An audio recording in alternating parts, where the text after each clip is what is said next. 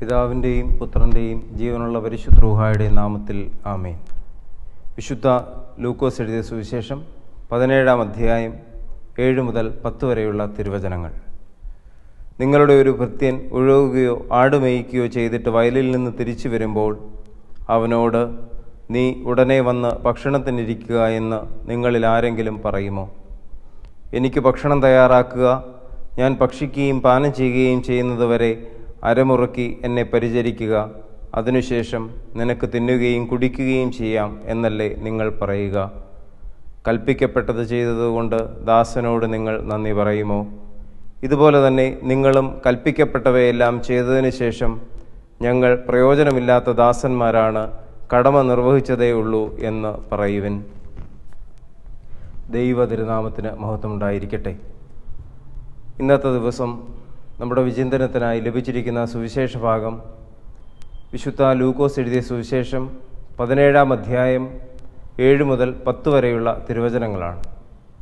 വിശുദ്ധ ലൂക്കോസിന്റെ സുവിശേഷം പതിനേഴാം അധ്യായം ഒന്ന് മുതൽ പത്ത് വരെയുള്ള തിരുവചനങ്ങളിൽ യേശു ശിഷ്യന്മാർക്ക് നൽകുന്ന നാല് നിർദ്ദേശങ്ങളാണ്. ക്രിസ്തുവിനെ അനുഗമിക്കുന്നവർ ക്രിസ്തു ശിഷ്യനാകുവാൻ ആഗ്രഹിക്കുന്നവർ ഈ നാല് നിർദ്ദേശങ്ങൾ പാലിക്കണം. ഒന്നാമത്തെ നിർദ്ദേശം ക്രിസ്തുവിനെ അനുഗമിക്കുന്നവർ ദുഷ്പ്രേരണ നൽകരുത്. രണ്ട് കണക്കു നോക്കാതെ ക്ഷമിക്കുന്നവനായിരിക്കണം ക്രിസ്തുവിന്റെ ശിഷ്യൻ. മൂന്ന് ക്രിസ്തുവിനെ അനുഗമിക്കുന്നവർ വിശ്വാസമുള്ളവരായിരിക്കണം.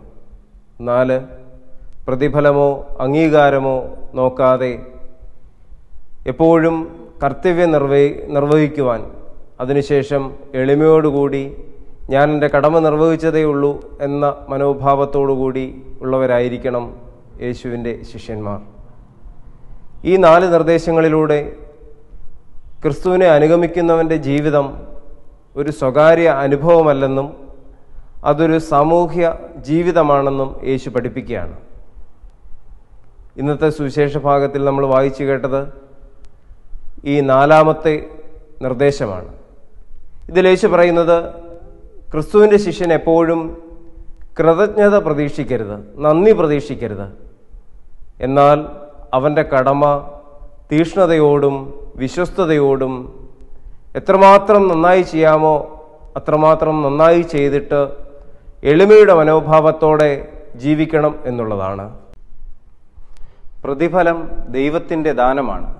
പ്രഭാഷകന്റെ പുസ്തകം പന്ത്രണ്ടാം അധ്യായം രണ്ടാം തിരുവചനത്തിൽ പറയുന്നു ദൈവഭക്തന് നന്മ ചെയ്യുക പ്രതിഫലം അവനിൽ നിന്ന് അല്ലെങ്കിൽ ദൈവത്തിൽ നിന്ന്. നമ്മുടെ ജീവിതത്തിൽ ദൈവം അനുഗ്രഹങ്ങൾ നൽകുമ്പോൾ അത് മറ്റുള്ളവർക്ക് കൂടി പങ്കുവയ്ക്കുവാനുള്ളതാണ് എന്നുള്ളൊരു ചിന്ത നമുക്കുണ്ടാകണം. കാരണം നമ്മുടെ ജീവിതം ദൈവത്തിന്റെ വലിയ ദാനമാണ്.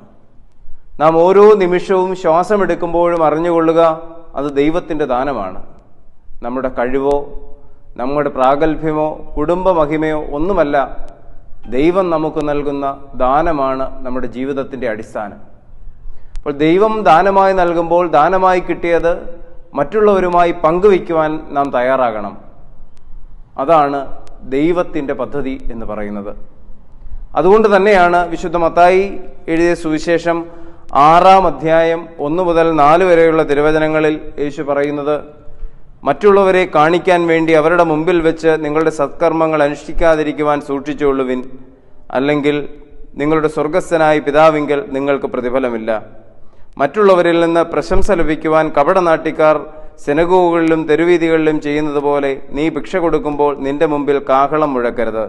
സത്യമായി ഞാൻ നിങ്ങളോട് പറയുന്നു അവർക്ക് പ്രതിഫലം ലഭിച്ചു കഴിഞ്ഞു ദർഭദാനം ചെയ്യുമ്പോൾ അത് രഹസ്യമായിരിക്കേണ്ടതിന് നിന്റെ വലതു കൈ ചെയ്യുന്നത് ഇടതു കൈ അറിയാതിരിക്കട്ടെ.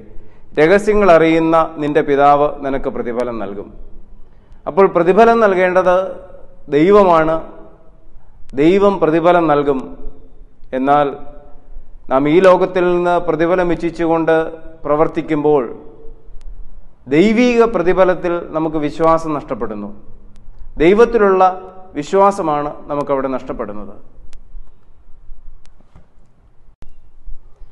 അവിടെയാണ് യേശു പറയുന്നത് നിന്റെ വലതുകൈ ചെയ്യുന്നത് ഇടതുകൈ പോലും അറിയാതിരിക്കട്ടെ.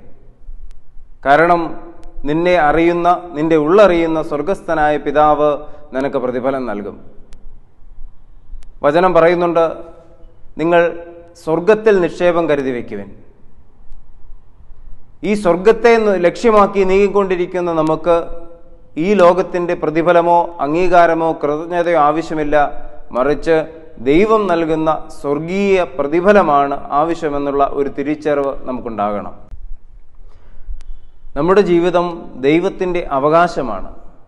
നമ്മുടെ അനുവാദം കൂടാതെ നമ്മെ സൃഷ്ടിക്കുകയും ഓരോ നിമിഷവും നമ്മെ പരിപാലിക്കുകയും ചെയ്യുന്ന ദൈവം നമുക്ക് അനുഗ്രഹങ്ങൾ നൽകുമ്പോൾ നാം ബോധ്യമുള്ളവരായിരിക്കണം. അത് ദൈവ ശുശ്രൂഷയ്ക്കും ലോകത്തിന്റെയും മറ്റു മനുഷ്യരുടെയും ശുശ്രൂഷയ്ക്ക് വേണ്ടിയുള്ളതാണെന്ന്.